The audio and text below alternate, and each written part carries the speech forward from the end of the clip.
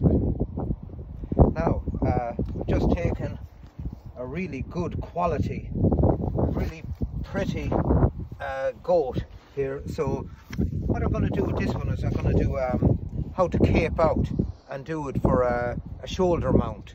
So a lot of people run into difficulty caping out. So now that we have a trophy, I'm going to show you exactly how to cape out an animal. And um, what they call, the, the main thing is we don't cut the throat on it. We don't go near the front as he has a lovely mane on him. We don't touch that. So what we do, our first cut is we, because of this, you just pull back the hair, but come well back well back on the shoulder, well behind the shoulder and put the knife in and cut up. That way you're losing none of the hair. You're not cutting down on the hair and the whole way around to the front. So we have it looking like that. Once we have it that section there done. We place our knife in and we follow the line of his neck. We come up along. The reason I cut up is to minimise the hair and it makes for easy, easy stitching then later on. So knife in, straight through and back. keeping the line straight. It just makes the job way easier for the taxidermist. Knife in, straight back. You can see the cut is going straight. So knife in, push the knife out and back. That way you're not losing any of that mane and you're keeping the line straight going up to the back of the animal's head. Out, through, and back. you can see now the way it's beginning to look and we need that to go right up to the back of the animal's head. And we're losing no hair then it's a matter of peeling.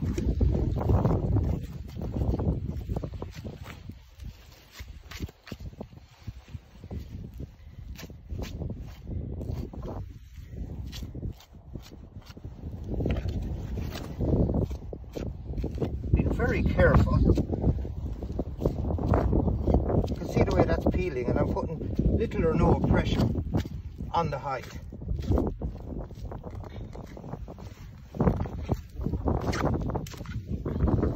Keeping a pull on the hide.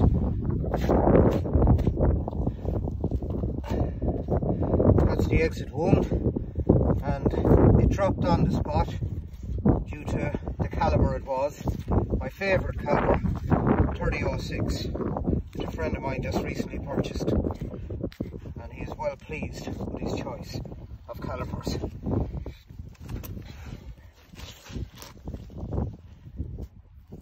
It takes time.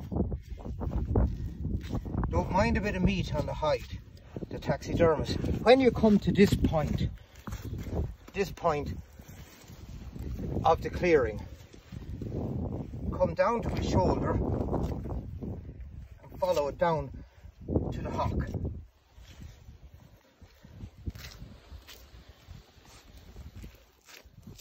Can see there. You need to clear clear the hock.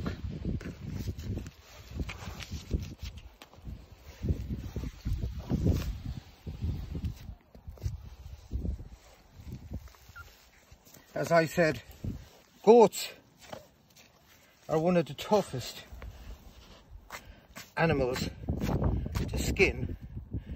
As I said, don't, do not mind a bit of meat on the hide. Taxidermists will take care of that. He'd rather, as they say, they'd rather see a bit of meat on the hide than holes in the hide.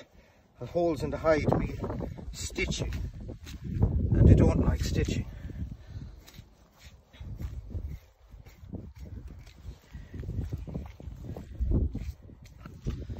So, at this point, they have one side already done. So now, we roll our hide back over to keep the hide clean.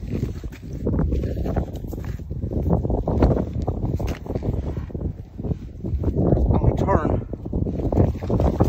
our animal over. And we do the same.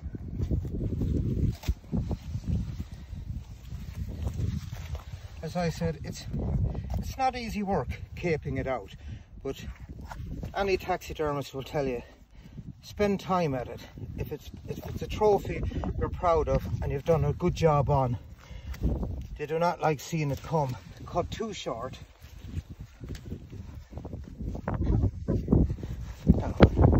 And again, get it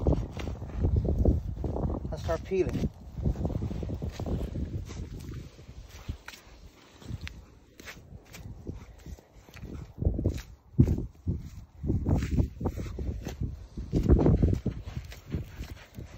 And this is a really nice nice goat when we come to the shoulder follow it down at the back of the shoulder.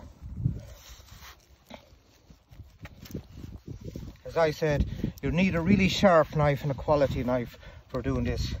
And I have my favorite one of my favorites one of the Paddy Smith the original knife that we designed together out with me today. And as you can see it's doing the job very well.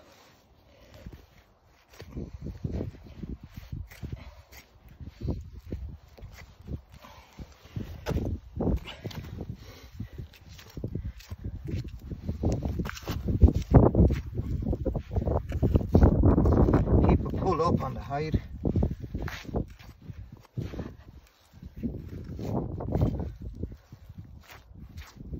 Don't mind, as I said, the taxidermists don't mind meat on the hide. I'm doing this because I'm not going to spend all day. I could do it in such a way that there'd be no meat on the hide, but it's just more time consuming and I'm not going to uh, spend all day up here doing this as we have further hunts to do hunting to do today underneath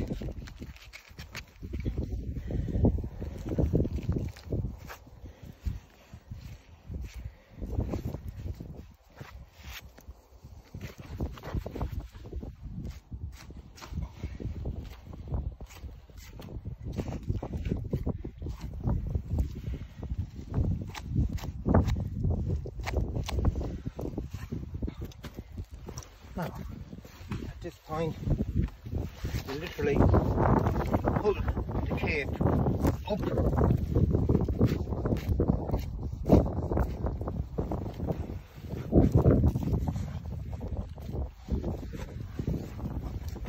keeping a pull on the cape